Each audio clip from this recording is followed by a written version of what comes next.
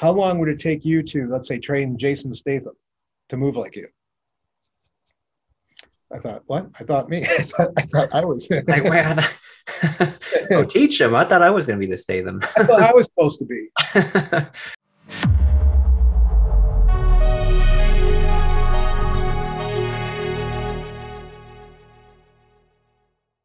Hey guys, got a pretty exciting video for you today. I think this is an exclusive. I don't think this is really told anywhere else.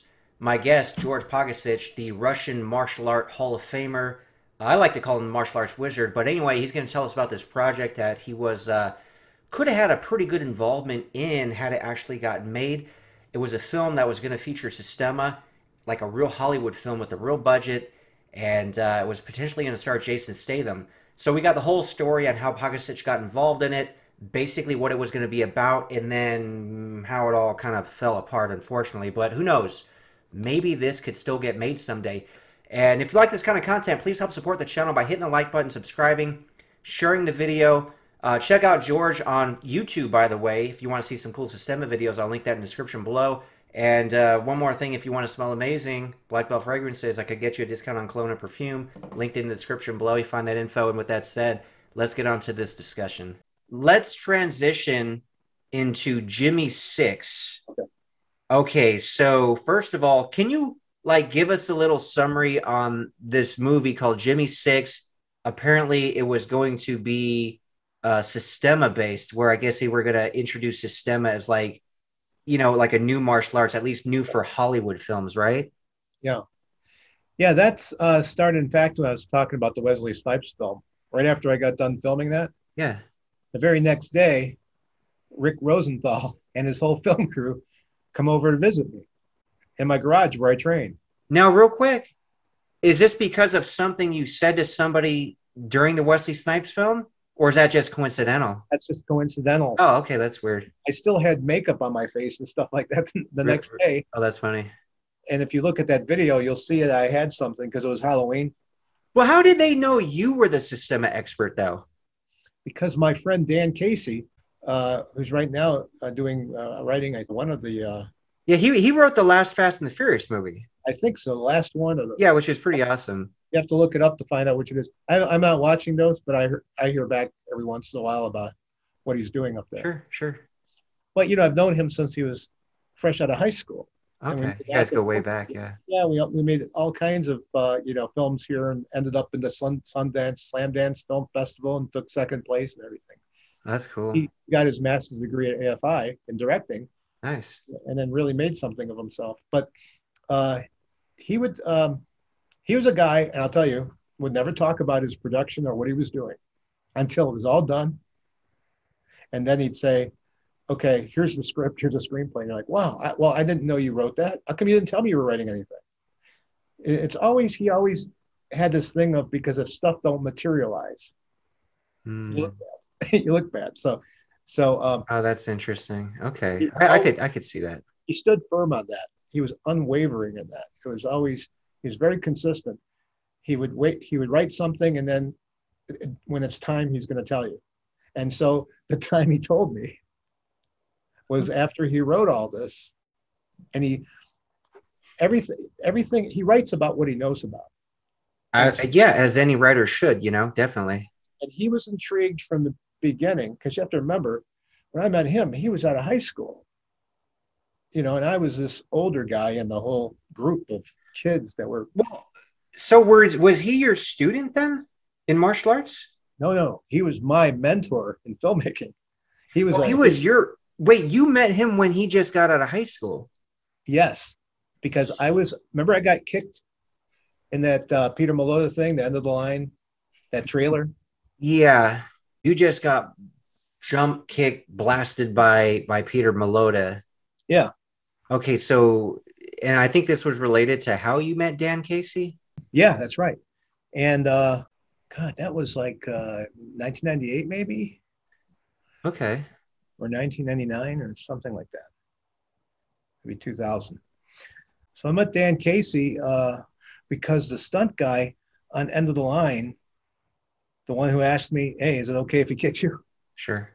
Um, after it was over, you know, it's kind of like you're you're sorry to see it end, when you make a movie. You know, it's like yeah, sure. It's like can, can we write? Can we? How do we stay in contact? You know, it's it's kind of like oh we're we all have to leave now. It's like it's like a marriage and stuff. and It's being dissolved and and and so um, they say, hey, don't worry. He says, I have another production, and I got. I'll talk to the guys and see if we could bring you aboard. Okay. And so that's that's how that was. And uh, I came over there and it was in someone's backyard, and they had smoke and fog, all kinds of stuff for this horror film. And I seen Dan Casey like off and on all the time, but I didn't know that was him. I saw his movies and I was like amazed at some of the productions he did with just a, a camera. Where, where where'd you see his movies? Like they how were they distributed or? It's a guy that I knew.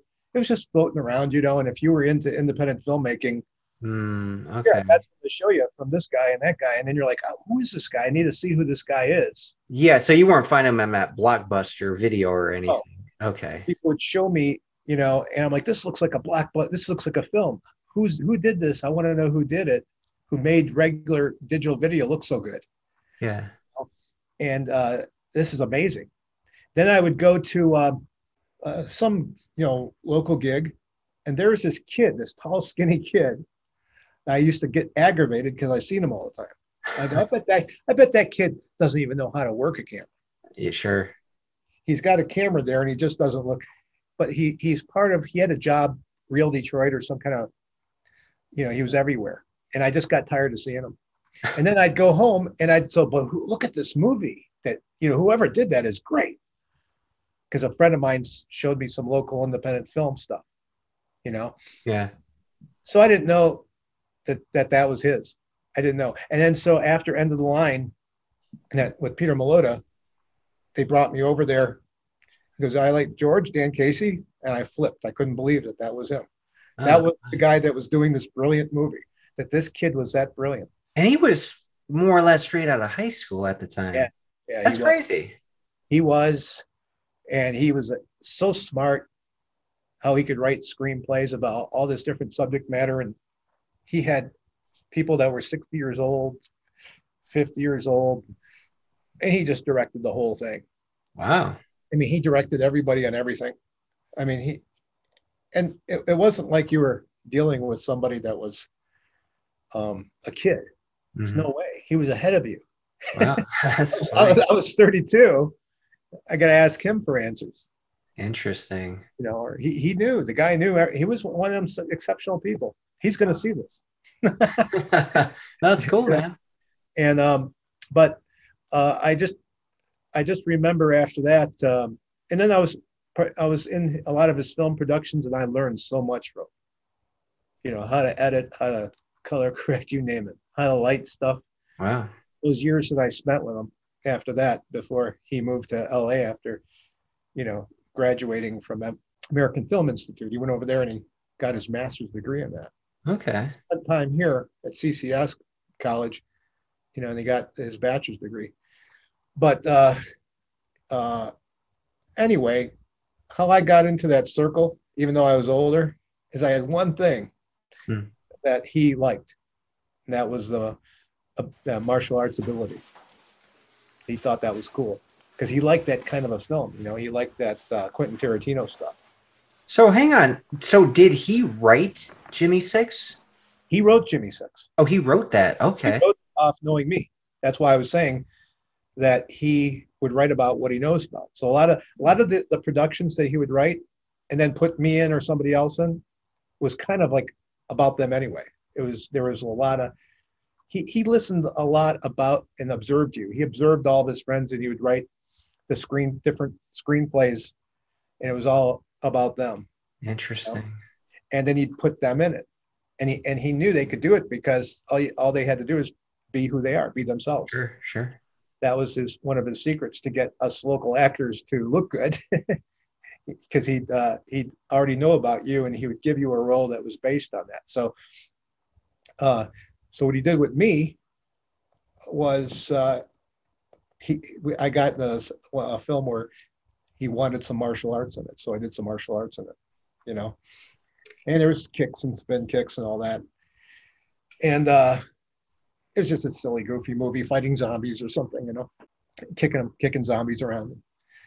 And um, but then um, you know, it got all of a sudden. Then he wrote this. He just told me, he says, "Look, I got this screenplay, and it's all about Russian martial arts and Systema." Oh, cool. And he says, and I wrote this, so he, it's all because of me. I mean, he didn't know about this before that. So um, through knowing me, he wrote that screenplay. Now remember, it didn't. It wasn't a martial. It's not a martial arts film. He he did. He, he created a whole story, and there's maybe mar- a few martial arts parts in it, just to establish the guy, who the Mhm. guy, who the character was in the film. So maybe there was a big fight at the end, but the rest is a big is a story. That, that that's just a drama. Because Oh, it's more of a drama than an action slash martial arts movie. but there's going to be at the end. Interesting. and uh, and and he wrote it about that this character uh, was patterned off me first. You know, he's you know some guy some and I wasn't in the military or nothing like that, but it was something like that to where now the guy is a civilian now and he's got these abilities. Hmm. So my role in it wasn't that I would be in the movie, uh, which I thought, oh, I'm going to be in this. You know, Sure, I'll just play myself. that doesn't the way it works. You need a bankable name. Hmm. So so when when Rick Rosenthal, because he sold it to Rick Rosenthal. Oh, Rick- so he sold the screenplay. yes, he sold the screenplay so he can get it made. Yeah, yeah, sure. So Rick Rosenthal is the director of the first Bad Boys with Sean Penn. That's a huge movie. Yeah, and also Halloween, uh, the Resurrection, second one, and uh, Rick Rosenthal. And I don't know if he did some TV shows or Friends or something like that, but these guys are at the garage where I'm training at. That's Dan, Dan Casey called me up and said I got the secret or something I had to talk to you about. then he comes over and he's whispering, you know, to me about something, and I'm not getting it. I don't get what he's talking about because he's whispering too quiet. yeah. so then um, he uh, said, just be around at, at, on Sunday at 10:30 a.m. I go, but I'm really going to be partying, partying uh, after this, you know, Wesley Snipes movie the night before on Saturday. Sure. Halloween parties and everything, you know. So I said, okay, I'll, I'll try to make it. I'll try to be all right at 10:30 a.m. And uh, so I uh, I started teaching. I, I I brought a couple guys there and I was teaching them. And uh, sure enough, there's a knock on the door. I open the door, and this whole crew from LA comes in. You know what I mean? And um, just and they they come in there and there's um, Rick Rosenthal and they're just doing their due diligence because they want to make this movie. So they're they got to meet me sure. and they got to go and look at locations and do all that stuff, right? And uh, just kind of go all over. And so um, so that so what they asked me so uh, is because Dan said eh, that I know the filming or how something like this would be filmed too. So that they can ask me that, like what what would I think that your style Systema, how would you film this? Hmm. Would it be like Crouching Tiger, Hidden Dragon? You know? The wire workout. And I said, I said no, but it would be like Taken or Bourne Identity. okay. I said that's that's the style. So I was telling him that that would be the style. Hmm. And he would say to me, you know, how long would it take you to, let's say, train Jason Statham to move like you? I thought, what? I thought me. I thought I, thought I was. Like, where? I thought- oh, teach him. I thought I was going to be the Statham. I thought I was supposed to be. You know. That's a big name though, dude. Obviously, big studio Hollywood film would Statham. they were cool. talking yeah, probably ten million dollars or something like that. Yeah, you said Statham. I know you told me Statham or possibly Nicolas Cage, right? Great actor. That'd be cool either way, man. I couldn't believe I was really hearing that. You know. No, that's that's nuts, dude. They were These that's a real movie. and they were saying it no, so nonchalant. You know, Yeah. hey, is this a joke? You know, so they wanted to use me as a consultant, hmm and um, and then actually actually make an appearance like a cameo at the end. Oh, that's cool. Like they asked me to do. Uh, they said, "Can you choreograph a twenty man fight scene, Wow. but have it end like really quick?" Oh, really? And and and I said, "That's not even a challenge. That's easy." I said, "That's less work." That's true. That would be less work. and that's what Systema's used for. if you if you make it last, that's hard. Mm. It's hard to come up with what would you do if I did that, and what would you do if I did this and this and this. But if you tell me all I got to do is take this guy out, this guy, this guy, and that's the job, well, that's that makes my job easier hearing that. Real quick, real quick, how long would it take you to teach Jason Statham? Obviously, he's got a martial arts background already. I well that I couldn't answer, but they they were asking and they said what three months, two months, you know. Okay, okay. And I think I just got I don't know, you know. I, I It would I- be cool him training at your garage, though.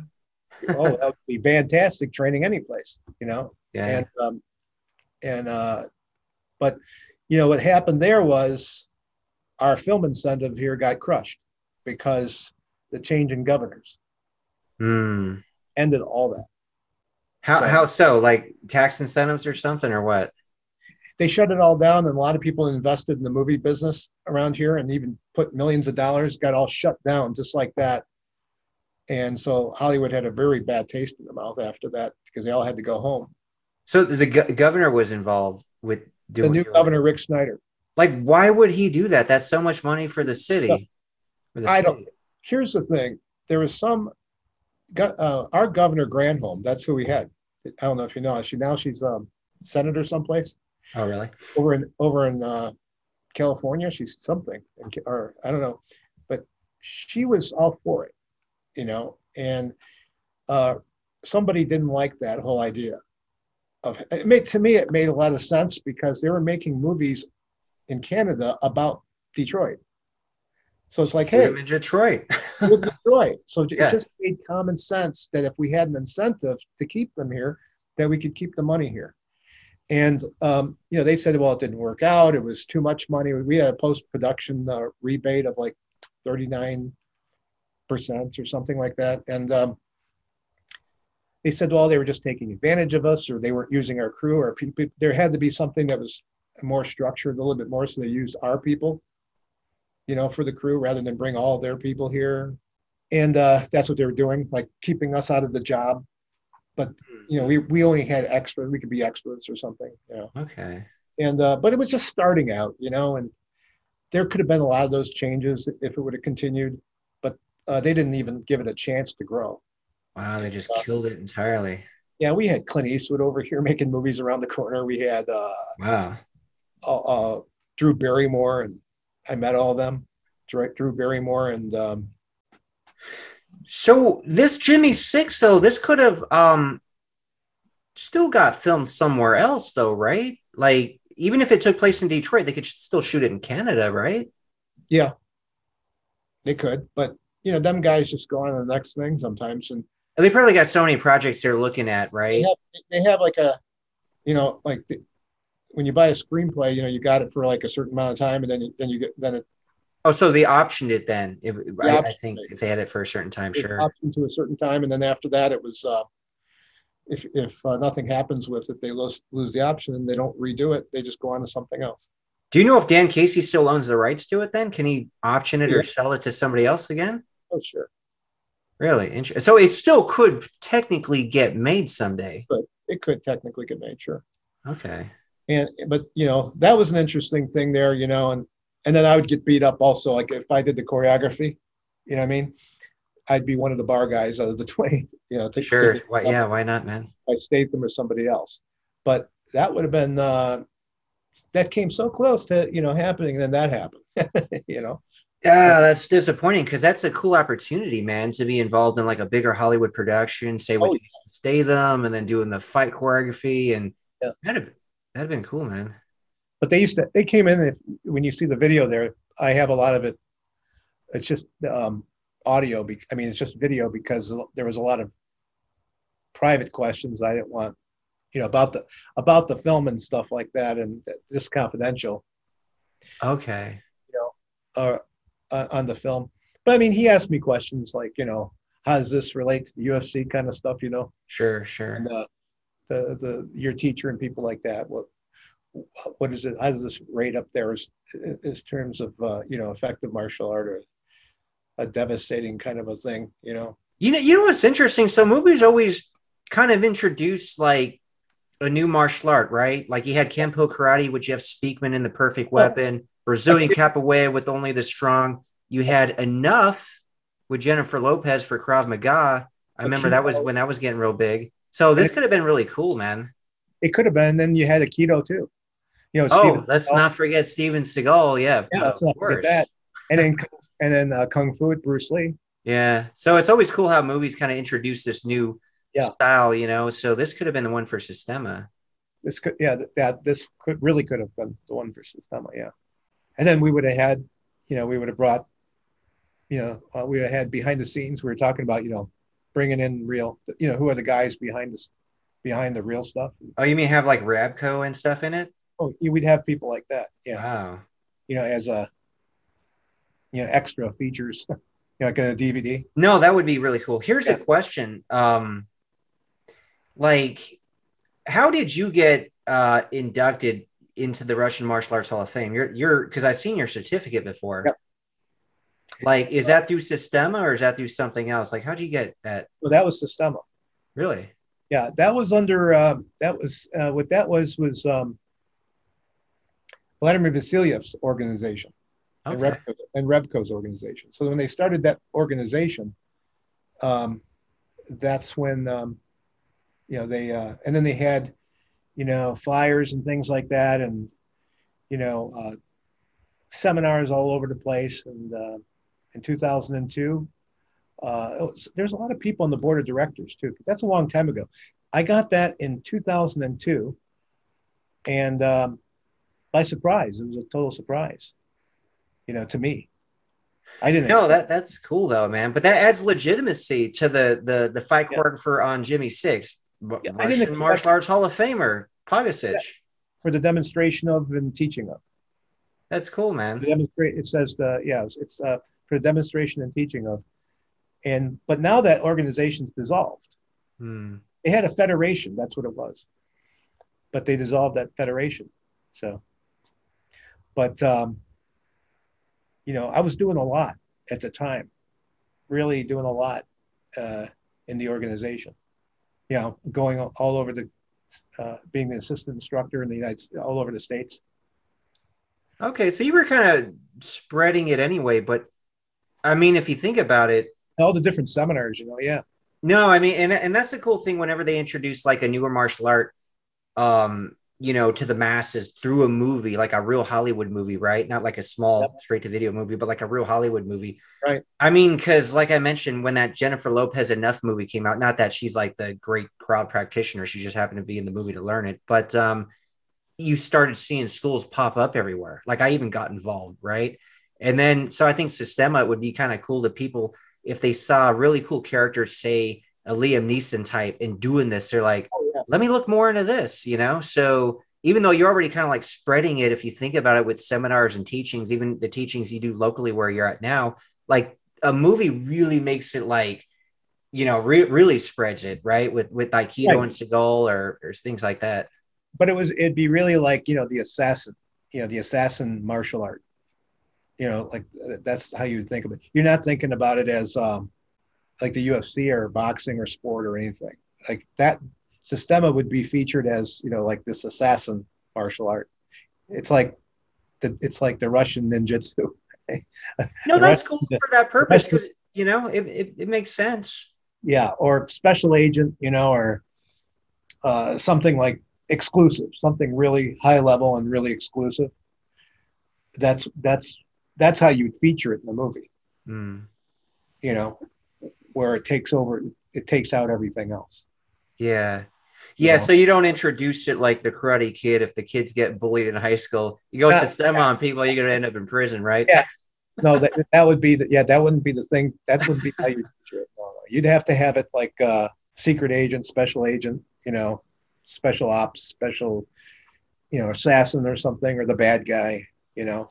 Yeah. Hey, I want everybody watching this video to comment if you want to see this movie made if you want to see Systema featured in a real Hollywood movie, comment below. Yeah. I mean, I'm curious. I want to see it. Yeah. You gotta get these comments, man. See see what kind of demand there is for this thing. Well, I, I remember even on the on the set with uh, Peter Malota, you know, we were talking about different ways to use knives, uh, different situations, because Systema is so situational based. That's what it is. It's not technique based, but it's situation. what do you do if you're here or you're in an elevator and there's two guys, three guys? Whatever you think of, there's like an answer to it. Mm-hmm. So, uh, and, and then when you start thinking like that, that's when you start thinking movies, why it would be so good in the movie. Like we have one um, move where if you're in a car, you know, and somebody puts a knife here, and you're like this, you didn't know they were in the back seat, so they do that, right? So you go like this, which which traps their arm, so they can't they can't slice you, mm. because by raising your arm up, they can't pull it, so now they can't slice you.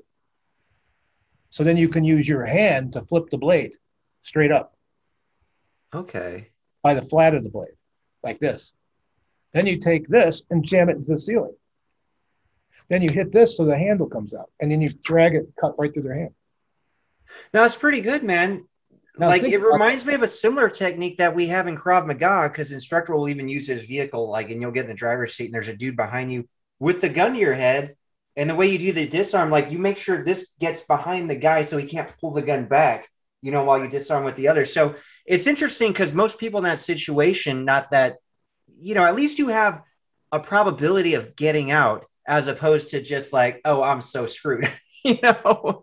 But, but, I mean, what I'm saying is, do you see the drama that it that would have in a situation? In a it movie? would be cool in a movie. Yeah, the drama, the conflict, the tension in that scenario. Oh, then it's just oh, like how he gets out. And then not only does he get out, but people would analyze and be like, wait, this shit could be real. I could really use this. You know, but like people could study the movie. But that would be like how you see how you'd expect James Bond to get out of it. Yeah. But I'm saying people would be, you know, replicating that just like they used to do John Claude Van Damme kicks. Like I do that back in the day. I still do that now. But people would be replicating that. I'll, I'll tell my wife, hey, uh, get a butter knife behind me. I want to try this movie I seen out in Jimmy Six. you know,